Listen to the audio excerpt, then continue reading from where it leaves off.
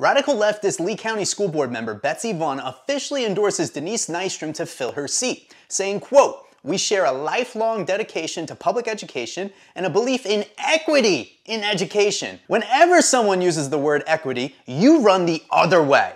This is the very same Betsy Vaughn who approved the policy letting boys to use the girls' bathroom, supports CRT, and oh yeah, called all of you a bunch of insurrectionists. Not because a rabble of people just like those who attacked the Capitol. it, it is not. Why hasn't Denise denounced Vaughn's support? Well, that's because she's doing whatever she can to garner Democrat votes since she knows the GOP is largely voting for her opponent, Jada Langford Fleming.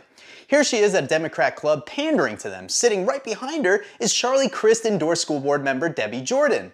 Here's a clip of Denise saying Lee County is systemically racist. When I understood that the population in East Lee was predominantly black and Hispanic, I was very upset by that. I felt like that was the perfect definition of um, systemic racism.